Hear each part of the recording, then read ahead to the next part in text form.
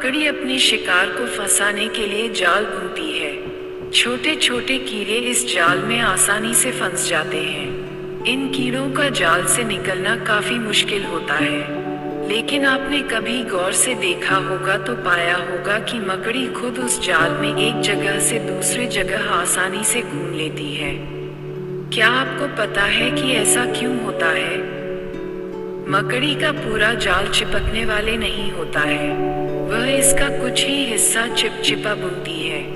वहीं इसके अलावा वैसा हिस्सा जहाँ मकड़ी खुद आराम से रहती है, वह बिना चिपचिपे पदार्थ के बनाया जाता है। इसलिए वह आसानी से इसमें घूम लेती है। वैसे अपने ही जाल में फंसने से बचने के लिए मकड़ी एक और तरकीब निकालती है।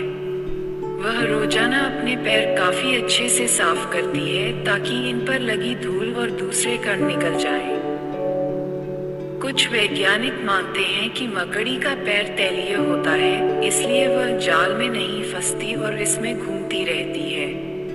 लेकिन सच ये है कि मकड़ियों के पास वॉल ग्लैंड्स ग्रंथियाँ नहीं होते हैं। वहीं कुछ वैज्ञानिक इसकी वजह मकड़ी की टांगों पर मौजूद बालों को मानते हैं, जिन पर जाले की चिपचिपाहट का कोई असर नहीं होता है।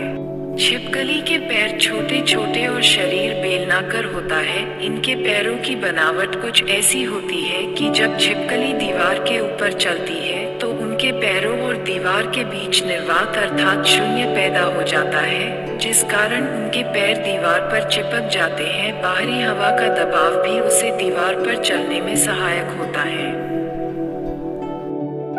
चींटियों कुछ ग्रंथियाँ होती हैं, जिनसे फेरोमोन्स नामक रसायन निकलते हैं। इन्हीं के ज़रिए वो एक दूसरे के संपर्क में रहती हैं। चींटियों के दो स्पर्श श्रृंगिकाएँ या एंटीना होते हैं, जिनसे वो सूंघने का काम करती है।